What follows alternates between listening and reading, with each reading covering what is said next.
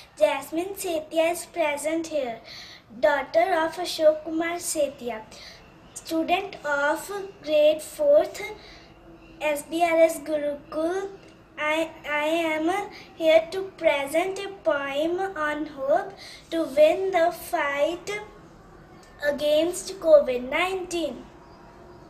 A poem for hope, a poem against fire, a poem for the broken heart which was bred by its dear, a poem for love, a poem against hate, a poem for the dying man who still fighting with his fate, a poem for the good, a poem for the bad, a poem for them too, when life made sad a poem for the honest ones, a poem against greed, a poem for those who believe to succeed.